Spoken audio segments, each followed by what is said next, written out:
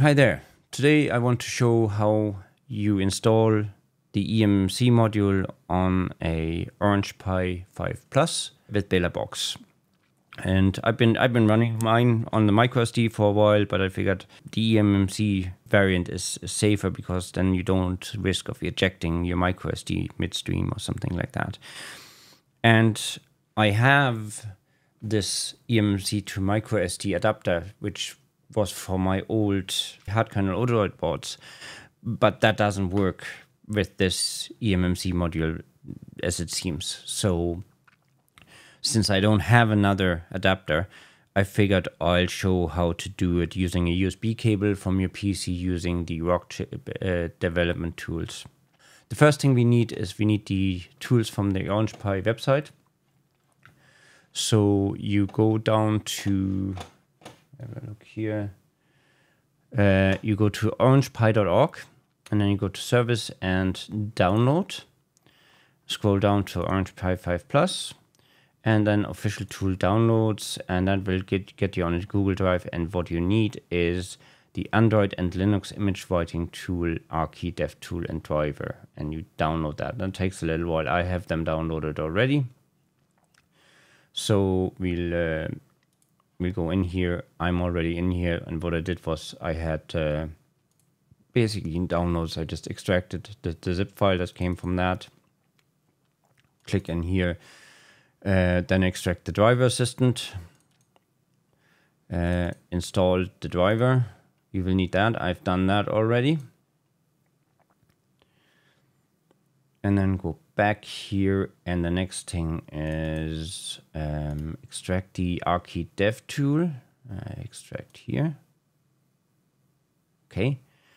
First thing to do here is because when you open it first, it will be all in Chinese. So open the config ini um, in Notepad and change selected language to number two.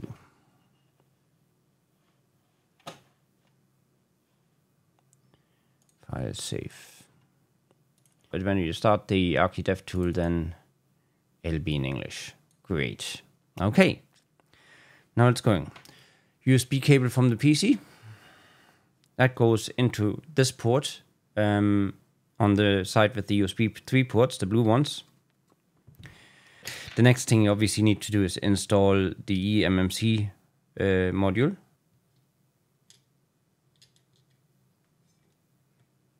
There's a good positive click here. So then you need a power cable. And while you, at the same time as you plug in the power, you will need to hold down the MaskROM button. If you don't have, have your board in the case, uh, then you can probably press it with a finger, but in my case, I need a little screwdriver to, to get to it. So, and as you can see, it says found one MaskROM device. Okay, so we need to go and we need to click on, right click on boot, load config. And you find that again in your downloads,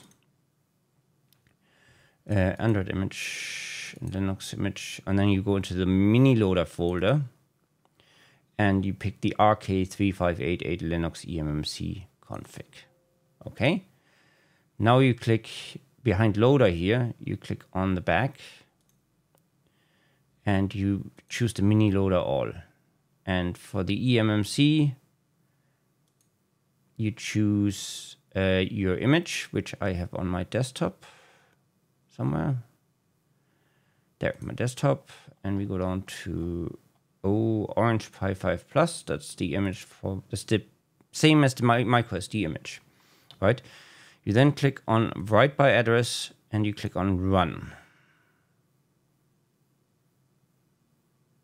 So, and this will take a while. So I will speed the video up and uh, see you on the other side.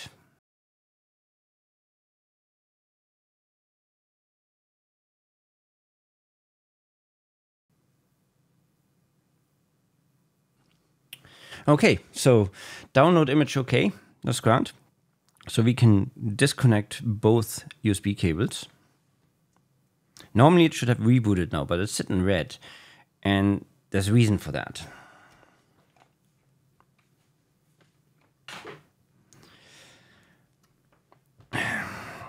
because the SPI flash isn't booting this board. So what we do is we put the microSD backend that has BelaBox on it.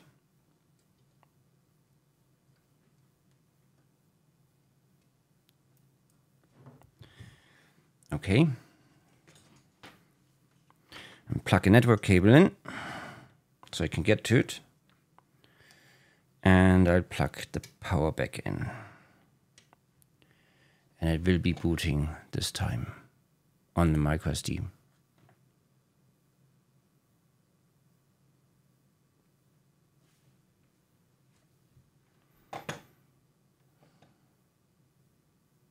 Okay, so I can close this, I can close this, and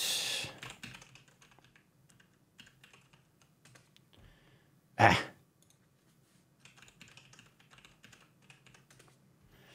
Grant. So what we need to do now is um, go into the advanced developer, uh, start the SSH server, copy the password. Okay, so we start PuTTY and 1055 199 169. We're logging into the shell of our uh, the launch Pi. Copy the password. Okay and then sudo dd if equals dev 0 of dev mtd block 0 password again. It says DD writing to dev mtd block 0 no space left on device. That is expected. Basically we are now waiting for the buffer to clear.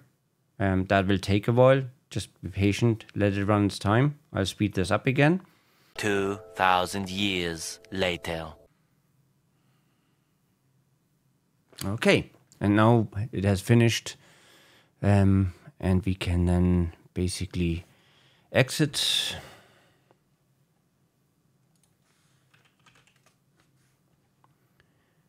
Go to system, power off. So unplug the power. Remove the micro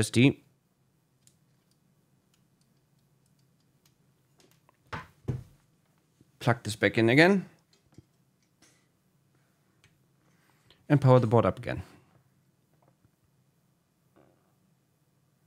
And this time it will boot, as you can see from the LED. So it's changed its IP. And here we go.